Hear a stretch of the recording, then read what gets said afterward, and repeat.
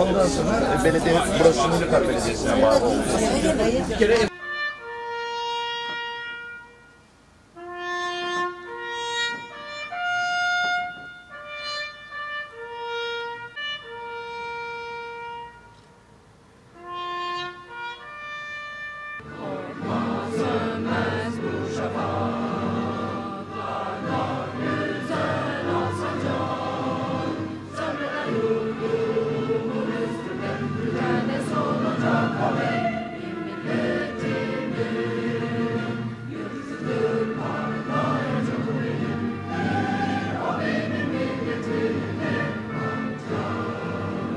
gaziler için okunacak dua adına e, hocayı sahneye davet ediyorum.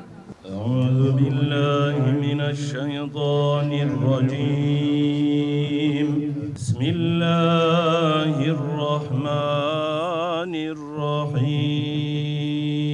الرحيم Nuri abimiz bizler için Bulgaristan Türklerinin önemli bir simgesi. Ve Bulgaristan Türklerinin haklarını o zalim yönetime karşı savunduğu için en güzel yıllarında 23 yıl zindanlarda cezalandırıldı. Böyle bir şahsiyet sonra 89 öncesi serbest kalıyor, ülkemize geliyor, ana vatanına Burada da o yaşına rağmen hem Balgaç'ın içinde hem de Bulgaristan'da hala mücadelesine devam ediyor ve maalesef 2004 yılının yaz aylarında Bursa'da bekleyen kızı aramızda bekliyor babası gelecek yok.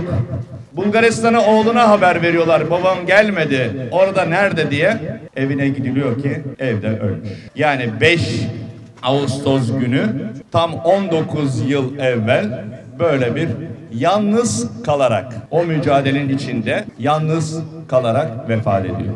Nuru içinde yatsın, mekanı cennet olsun, Allah rahmet eylesin diyorum. Bizler de bu camianın içindeki koşanlar, Balgöç, sivil toplum örgütleri ve Bulgaristan Türklerini temsil eden hem burada hem de Balkanlarda hem de bugün için Batı Avrupa'da koşan kardeşlerimiz var. Nuri Turgut Adalı bizim için simge bir isimdi. Onu anmak, onun görüşlerine sahip çıkmak önemli. Ama yılda bir anmak değil. Süreli onun bu mücadelesinin devamını sağlayabilmemiz lazım. Nülüfer Belediye Başkanımız Sayın Turgay Erdem şehir dışında olduğundan dolayı e, yerlerine vekaleten tarafımızı gönderdi. Bugün burada büyük bir Türk kahramanı, ömrünü eşitlik ve özgürlüğe adamış, Bulgaristan Türklerinin milli ve manevi yolunu aydınlatan asimilasyon sürecinin söndüremediği bir meşale olarak görülen Nuri Turgut Adalı'yı anmak için toplanmış bulunuyoruz. Bulgaristan'da Türklük mücadelesinin büyük önderlerinden Nurgut, Turgut Adalı'nı ölümü yıl dönümünde diğer arkadaşlarıyla birlikte rahmet ve şükranla anıyorum. Türk kültürü ve varlığını korumak için ellerinden geleni yaptılar.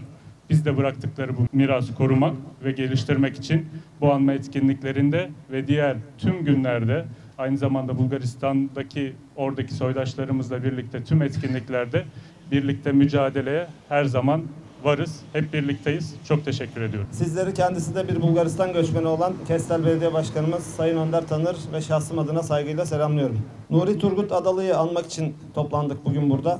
Üzerinden yıllar geçse de Bulgaristan'da Türklüğe ve Müslümanlığa karşı gö- gösterilen bir asimilasyon sürecinin bir anlamda unutulmaması için buradayız. Çünkü Nuri Turgut Adalı gibi kahramanlar ve halen aramızda bulunan Belene gazilerimiz. Eğer onlar olmasaydı biz bugün Bulgaristan'da Türkçe konuşamıyor olacaktık. Bulgaristan'daki kardeşlerimizin isimleri bugün Türk ve Müslüman ismi olmayacaktı. Bugün biz hala Müslümanlığı ve Türklüğü Bulgaristan'da yaşayabiliyorsak kendilerinin sayesindedir. Buradan e, ruhu şad olsun, mekanı cennet olsun diyorum.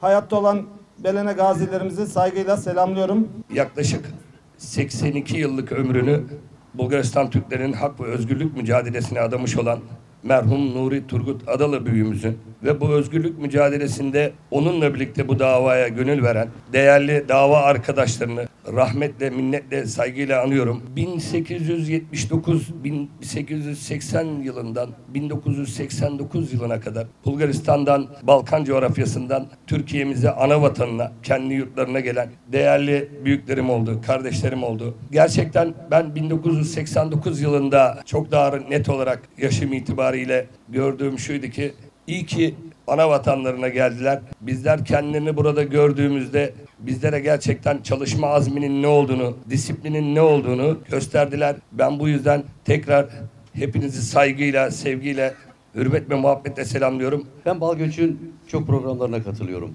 Katıldığım her programda şunu görüyorum. Bir kere adetlerinizi çok iyi öğretiyorsunuz gelecek nesillere. Göreneklerinizi çok iyi öğretiyorsunuz. Kültürünüzü çok iyi öğretiyorsunuz. Ve en önemlisi Nuri Turgut Adalı gibi özgürlük savaşlarını, savaşçısı ve otoriter rejime karşı mücadele etmiş hem de o topraklarda isimleri her zaman zihinlere kazıyorsunuz. Çünkü bugün eğer biz tarihimizi unutursak, tarihini unutan milletlerin coğrafyasını başkalarının çizdiği bir dönemi yaşıyoruz. Cenab-ı Allah bu milletin coğrafyasını kimseye çizdirmesin.